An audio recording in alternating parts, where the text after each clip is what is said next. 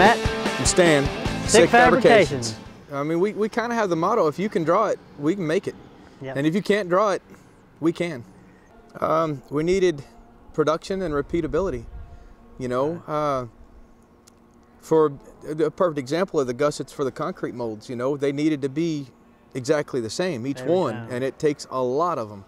You know, so instead of having to hand lay out each line and try to cut each line and then grind each line smooth, you know, with a hand cutter, I, I let the robot do the work.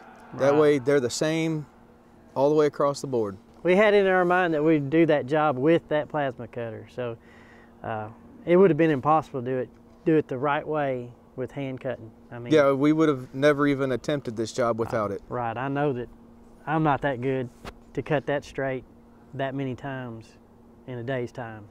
You have to have automated plasma to get the same result every time if you're building more than one one off of something. If it's a, a repeat type of uh, process, then you have to have automated equipment to get the same result every time.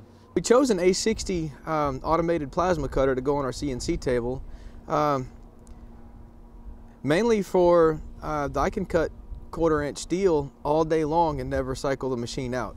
That was the biggest thing we were looking at at that time was you know quarter inch capability.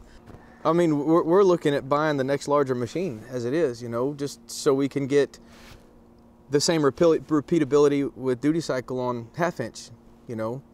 Uh, just like Matt was saying earlier, you know, uh, uh, each new piece of equipment generates its own business, you know. And now that there is a, a robot to cut parts, the people want parts cut by a robot.